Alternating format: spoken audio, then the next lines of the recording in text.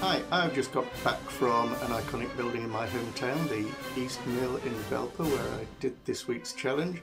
I was going to do this bit to camera from there, but uh, frankly, doing the challenge gave me the heebie-jeebies and I completely forgot to do it, so I'm doing it from here. Seven stories of beautiful Victorian industrial engineering uh, with a bit of water hazard at the bottom.